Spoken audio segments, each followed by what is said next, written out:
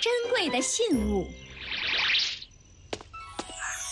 信物执着在此，你果真是为娘的女儿啊！云朵妈妈，小鱼终于找到它的妈妈了，好感人啊！是啊，多亏有了这件信物，我也要寻找一件信物。哎，啊，你要信物干什么？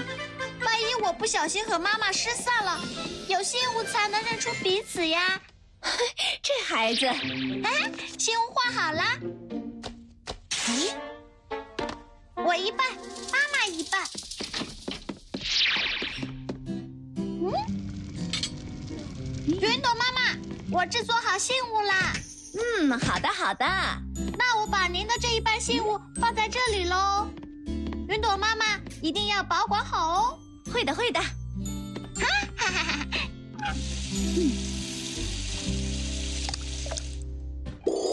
啊！哎呦，都湿透了，这下可糟了。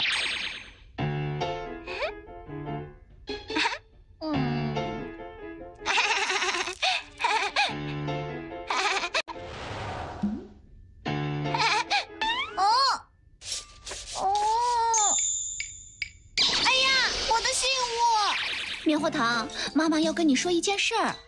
云朵妈妈，我也有一件事想告诉你。嗯呃，棉花糖，你的也脏了。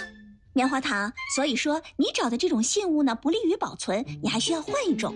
啊，对对对，我再去找找其他东西当信物。用什么当信物呢？嗯，哦，这两个扣子闪闪亮，像宝石一样。就拿这个当信物好了。云朵妈妈，您要把这个信物收藏好，万一我们走散了，很多年以后要用它相见。哦，这个扣子我记得是你的一条穿小了的裙子上面的，妈妈把上面的扣子都拆了下来。嗯，哦它这么硬，也肯定不会坏。米花，你嘴里叼的是什么呀？啊，又一颗扣子！棉花糖，这种扣子呀，全世界应该有几十万个呢，不够特别，没法当信物啊。嗯。云朵妈妈买菜回来了。是啊。什么能做信物呢？树叶，不行。石头，找不到一样的呀。云朵妈妈，你买菜回来了？今天菜婶那边的草莓多少钱一斤？我看看我是从网上买还是蔬果店里买。哎，今天菜婶家的草莓啊特别好，价格也不贵，你去店里买吧，还能挑呢。嗯嗯嗯嗯，易拉罐不行，易拉罐太多了，是吧，云朵妈妈？嗯，云朵妈妈呢？云朵妈妈，云朵妈妈，你在哪儿呢？啊，我的信物还没有准备好，就和云朵妈妈走散了。云朵妈妈，哈哈，就是，棉花糖刚才还说他一次呀能吃半个西瓜，是吧，棉花糖？哎哎，棉花糖呢？我看他自己往那边走了，我以为你们说好了。哎，没有没有啊，哎呀，改天再聊啊，我得去找棉花糖了。棉花糖。我可别吓妈妈啊。棉花糖，你可千万别跑出小区呀！妈妈，妈妈，那是棉花糖的声音。妈妈在这儿，妈妈在这儿，往妈妈这边跑。妈妈，我来了。哎呀，棉花糖，你可把妈妈吓坏了。云朵妈妈，您是怎么知道我在叫妈妈呀？嗯，我也没说我是云朵妈妈呀。你怎么也知道往这个方向跑呢？我。听出了云朵妈妈的声音，妈妈也是啊，妈妈一下子就能听出棉花糖的声音。以后啊，可不能乱跑了哦，以后可要看好自己的孩子哦。嗯，云朵妈妈，看来我们根本就不需要信物，有声音就够了。那当然了，不过我们永远也不会走散的。没错。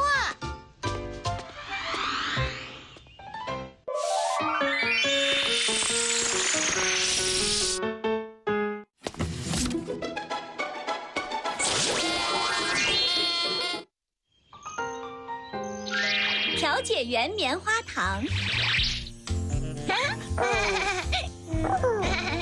哦，棉花，你听到什么声音了吗？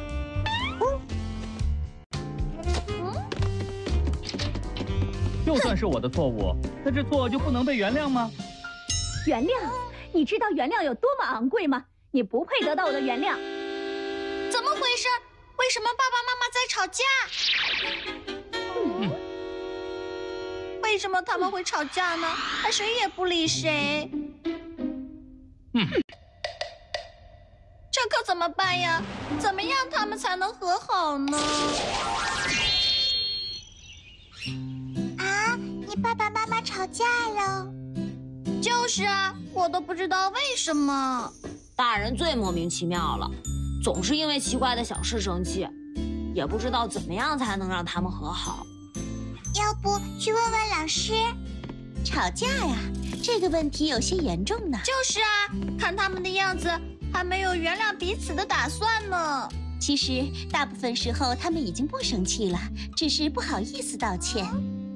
原来是这样，那我得想个办法。卡片上就写对不起就可以了。没错，谢谢玫瑰姐姐。现在鲜花有了，接下来你打算怎么办呢？嘿，我把这束花送给云朵妈妈，就说是蓝天爸爸给的就好了。太好了，我也来帮你吧。谢谢啦。嗯嗯，这是蓝天爸爸送给我的。没错，是蓝天爸爸让我转交给您的。呃，嗯，这不过年不过节的，为什么送花给我呢？还写着对不起，难道蓝天爸爸做了什么不好的事情吗？哦，没有没有。我回来了。嗯嗯，你怎么还想起买菜了？不是我买的。嗯，嗯，记住，家和万事兴，别跟云朵吵架了。这样对谁都不好。啊，您说什么？没事儿，快走吧。这些菜呀、送给你吃，不要钱。哦记住了，家和万事兴。这到底是怎么回事啊？简直太奇怪了。对了，你送我这花又是什么意思呀？啊？什么花？我怎么？嗯，云朵妈妈，吵架是不能解决问题的，有什么事情好好跟蓝天说嘛。啊？棉花糖，我告诉了菜婶和小苹果妈妈你的爸爸妈妈吵架的事情，让他们帮忙劝架。怎么样？有效果吗？那是你干的呀。当然了。嗯棉花糖，这到底是怎么回事啊？棉花糖，爷爷奶奶，哎，啊，爸妈，你们怎么来了？听说你们吵架了，我们不放心，过来看看。啊？你们说是小苹果妈妈给你们打的电话？就是，她说你们俩吵架吵得可厉害了，我们就来看看，到底因为什么呀？嗯，我们没吵架呀。你们有，我都听见了。云朵妈妈说：“你知道原谅有多昂贵吗？我是不会原谅你的。”嗯，